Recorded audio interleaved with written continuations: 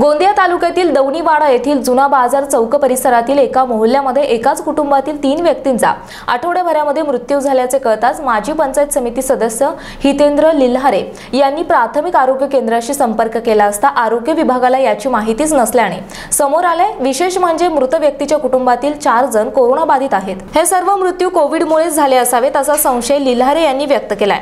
परिसरातील आणि मृत व्यक्तींच्या कुटुंबातील लगतच्या संपर्कातील व्यक्तींची कोरोना चाचणी घेण्यात यावी अशी विनंती जिल्हा आरोग्य अधिकारी डॉक्टर नितीन कापसे यांना करण्यात आली आहे. त्या मागणीला तात्काळ प्रतिसाद देत आरोग्य अधिकारी यांनी प्राथमिक आरोग्य केंद्र दवणीवाडा यांना परिसरातील आणि हाय रिस्क कॉन्टॅक्टमधील लोकांची अँटीजन टेस्ट करण्याच्या सूचना दिल्यात. यामध्ये मृताच्या कुटुंबातील चार जण बाधित असून त्या सर्वांना कोविड केअर सेंटर क्रीडा संकुल गोंदिया येथे हलवण्यात आलं आहे. दवणीवाडा गावामध्ये एकूण अडोतीस कोरोना पॉझिटिव्ह रुग्ण आढळून आले आहेत. एक ही हफ्ते में तीन लोगों की मृत्यु हुई. वो मृत्यु हुई, जब तीसरी मृत्यु हुई तो मुझे पता चला क्या ऐसा ऐसा नागौर परिवार में हो गया करके। तो इस बात की दखल लेने के लिए मैं फिर दवनीवाला सब सेंटर पीएससी मैंने अपने पीएससी में गया। पीएससी में सभी डॉक्टर, सभी टीम, डॉक्टर से वहाँ के सभी जितने भी कर्मचारी, सभी के साथ चर्चा किया इस विषय पे कि ऐसा क्यों हुआ करके, कि परिवार के तीन लोग क्यों इकट्ठे मर गए, यानी गुजर गए करके। तो सभी का अनुमान यही निकला कि कोरोना शायद उनको कोरोना हो गया और इन्हें कोरोना की टेस्ट नहीं कराया डर के मारे करके। शायद किसी को बताते, यानी किसी को अपने बीमारी के बारे में कुछ भी नहीं बताया। उसी हिसाब से वो गुजर गए, ऐसी ही समझ में आया।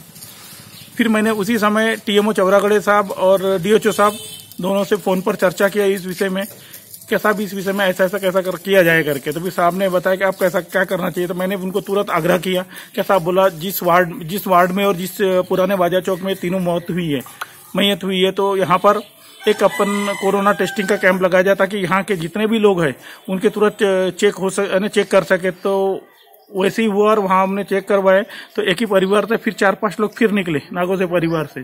तो उनको तुरंत हमने कीड़ा संकुल भिजवाए और गाँव के कुछ लोगों ने भी चेक किए तो वो भी कुछ पॉजिटिव आए। गाँव में ये जो सैनिटाइजर जो कर रहे हैं, इसमें ये जो नवयुवक हैं मात्र यही सब सारी चीज़ें कर रहे हैं। अब ग्राम पंचायत में निवेदन देके हो गया है, पुलिस स्टेशन में निवेदन देके हो गया है।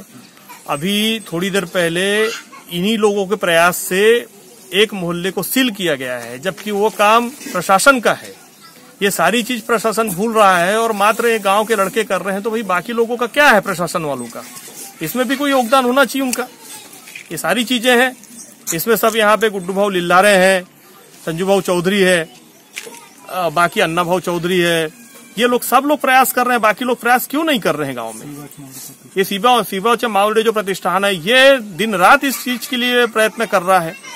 इसमें हमारे यहाँ पे प्रशासन जो ध्यान नहीं दे रहा है, उसकी ओर सबका ध्यान आकर्षित होना चाहिए। Rahul Rahangdale, star Maharashtra news Gondia.